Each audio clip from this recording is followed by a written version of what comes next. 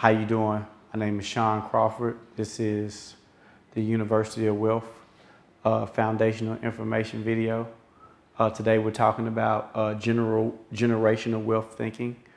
Um, so we talk about generational wealth a lot in our community, and I don't like ambiguous terms. So we, if we're going to strive for something, we need to define what that tangibly is. So uh, I give you all my definition of what I mean when I say generational wealth, um, which is basically having a generational business. And a generational business is a business knowledge base and income stream passed on for 200 to 500 years.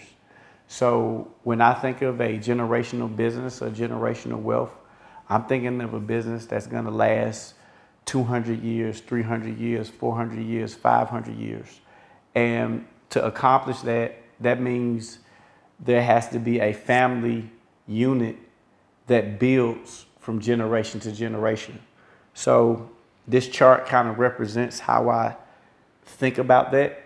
Uh, basically, on this side, uh, each generation is building up in terms of uh, their financial ability.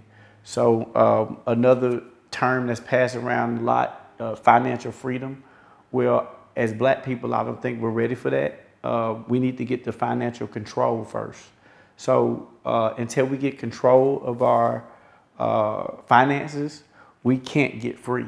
So um, these are the different levels of financial control.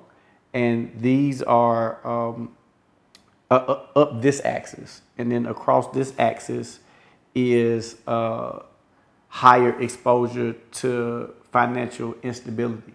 So uh, the goal is to get uh, assess where you are in relationship to your family because you can't get somewhere and leave your family behind if you're thinking about a generational wealth type situation because it's about again passing it down to the next generation and like i said again it's not just the money it's the knowledge base so um, you have to increase the financial in intelligence of the people in your family over the generations. So, for example, I may be right here, but for my family to come with me, then they have to climb through these ranks to come up here to get to that point where we're all at a place where we can get this generational business. And it's gonna take different generations for everybody to like rise up to that level for you to finally get in that generational uh, wealth thinking, wealth business category. So um, uh, in the next video, I'll go deeper into uh, what all these different things mean and uh, how to achieve this generational wealth goal.